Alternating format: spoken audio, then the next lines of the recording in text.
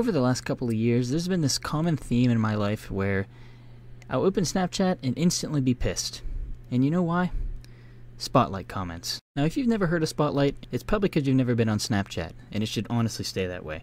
But essentially, it is Snapchat's response to TikTok, and I gotta be honest, it is just a complete shit show. Of course, while the videos are usually not really that bad and they're pretty much just reposts from either TikTok or YouTube, the comments are absolutely abysmal. Although, before we get started in this fucking nightmare simulation, I will say that uh, a lot of the comments on Snapchat Spotlight are from kids. So, for the sake of this video, I am going to be critiquing comments that I think are from logically thinking adults. And one last thing before we get started in order to bless your life with these comments, I will have to show the video that they are on. They, of course, since it's on Snapchat and it's pretty much repost, there's no credit whatsoever. So I will do my best to try and find the original videos and then link them in the description below. Oh, yay! Oh, yeah! Woo! Can mommy do it? So in this extremely wholesome video, we have a family obviously having a really good time with each other. Memories are being made, and most of the comments agree. You know, most of the comments pay attention to that, except this one. Old Jesse here focusing on the biggest battle in the room, saying, Ain't it weird how they got a camera in the son's room? And Gus replying, Yes. Now, perhaps Jesse has never heard of home security or anything like that, or maybe he thinks that the parent is a CIA agent. I who the hell knows? But all I know is that that is somehow Jesse's first thought when he sees the video, and that is very interesting. And even then, let's entertain, for, for Jesse's sake, let's entertain what's going on in that big brain of his and say that, oh, maybe the parent is spying on the kid.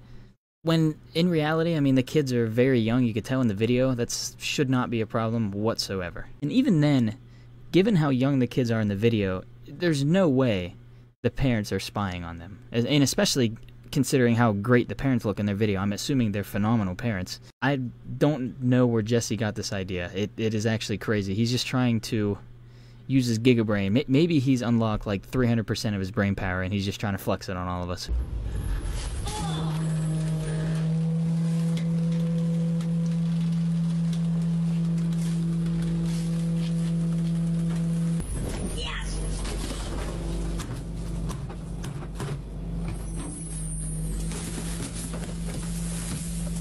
Now in this video we have a who looks to be about an 18 or 17 year old kid who is getting visibly upset uh, every time he comes up to a new house and there is actual trash mixed in with the compost because people don't know how to organize it or they're too lazy to. And I gotta be honest, I think he is rightfully upset because it's his job to get the trash, and I mean, he looks pretty good at his job, but yet people's incompetence and laziness is preventing him from doing it correctly. So luckily enough, there's so many fucking stupid comments on this one that I didn't even have to crop anything. There's four in a row here. Connor asking, what about the blue bins? I would sue.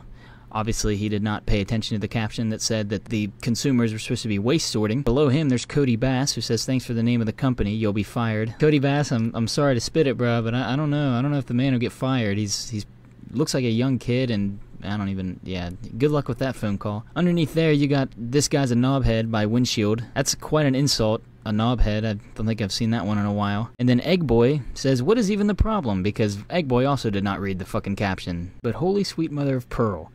None of those first four could have prepared you for this next one. Wolf J. Flywheel says he should be thankful that he has a job in this economy. So let's just flame the kid for being upset at the fact that people don't follow the fucking rules. Very smart man there, uh, Wolf J. Flywheel. He's using he's using 400% of his brain power. He's he's a lot smarter than Jesse. I'll tell you that.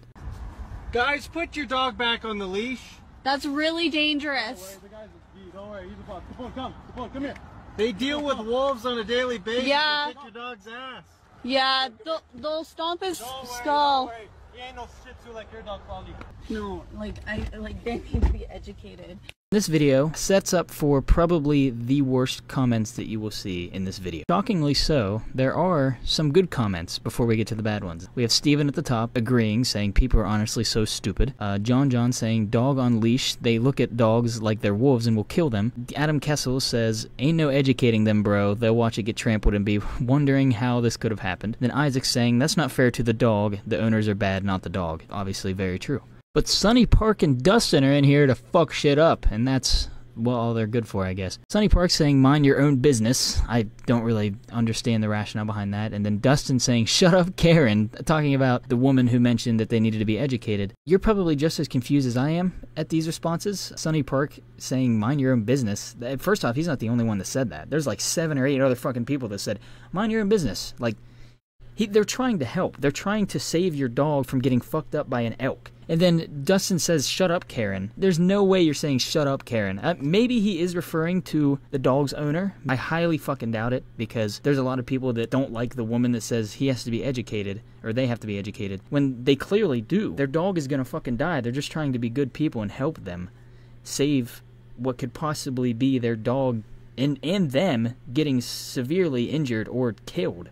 Now, in order to refrain from ending on a negative note, this one is quite interesting. Basically, it's this video. They're, these dudes are all wasted playing pool, and they just keep missing like the easiest shots ever. I think it was viral on TikTok like a year ago or so. You may have seen it before, but the comment on this video is just insane. So Yvonne starts it off by saying, "Why this low key funny?" And then this dude with a cross emoji as his name says, you, you're lucky, bro. You don't have an avatar. I am not mad, but maybe the basketball people are. Nothing racist, really. I like basketball people. Not like, not like that, like friends, and not that, not that they are not pretty. They are very pretty, and I like them as friends.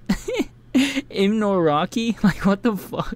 What the fuck is bro trying to say, man? He's he's smart. He this was this is the guy using 500% of his brain power actually. Like the smartest one we've seen all day. So if none of those comments had you scratching your head asking why the fuck did I have to be born into this terrible world, uh, then I'm sorry for wasting your time. But that's pretty much what they, you know, did to me. And so I thought I'd share. And yeah. Peace out.